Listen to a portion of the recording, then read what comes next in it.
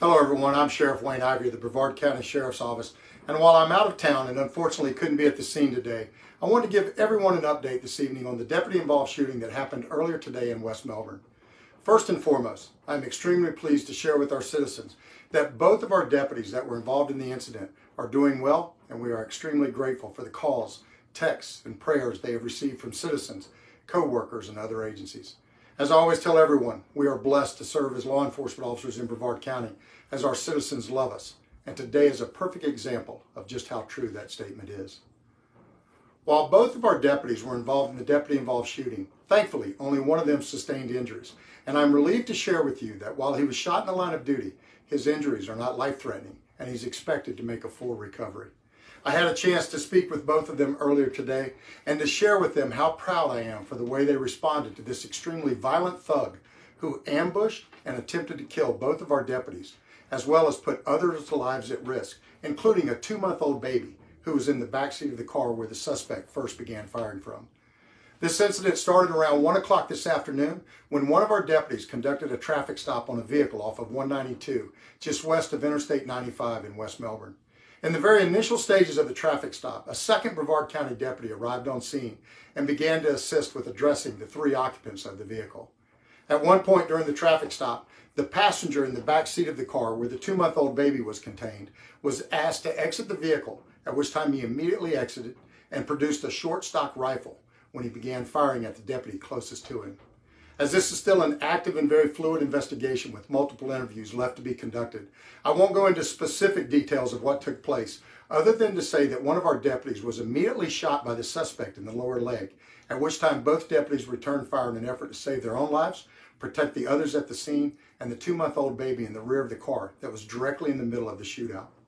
The suspect was the initial aggressor in this case as he concealed his weapon until he exited the vehicle and immediately began firing on our deputies in an attempt to take their lives and avoid arrest, as he was wanted on several warrants. As the suspect continued to violently engage our deputies, he concealed himself multiple times behind the cars and eventually ran up behind one of our deputies, using the butt of the rifle to strike him multiple times in the head, causing significant lacerations and tissue damage. Our other deputy on the scene once again engaged the suspect and shot him multiple times, eliminating the threat to himself and partner deputy, with the suspect being subsequently pronounced dead at the scene. The suspect is a perfect example of what is wrong with our criminal justice system, as he is a registered career criminal with 23 felony arrests and 17 misdemeanor arrests for narcotics trafficking, aggravated assault with a weapon, robbery with a firearm, battery on a law enforcement officer, resisting arrest with violence, and attempted first-degree felony murder. This career criminal was actually out on bond and on our streets where he could attempt to kill our deputies and put others' lives at risk,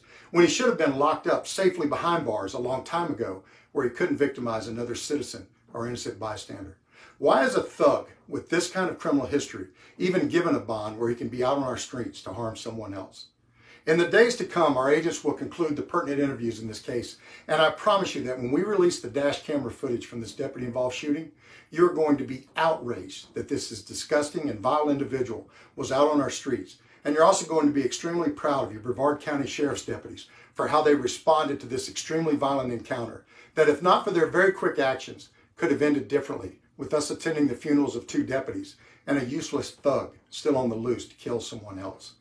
I could not be more proud of our deputies as they are true heroes who not only saved each other's lives, but also the lives of the other two occupants of the vehicle and a two-month-old baby that were all in harm's way because of this violent and evil individual, whose name I won't even mention because he doesn't deserve to have his 10 minutes of fame. He deserves exactly what he got, and now he can't ever harm anyone else. As I've said several times before, if you point a gun at one of my deputies, you just guaranteed yourself a trip to one of three locations, the hospital, the morgue, or if you're real lucky, the hospital and jail. I want to close tonight by commending our team for the very professional way they managed this crisis today. I'm surrounded by an amazing team who do amazing things every day to protect our community and to represent our agency with pride and honor. And of course, I want to personally thank our citizens and fellow law enforcement agencies for all of their calls and support and prayers. You have no idea what it means to me and to our team to have a community around us that loves us so much and appreciates what we do. As the investigation continues to develop, we will have additional details about the incident and we'll do everything we can to keep you updated. Thank you and God bless.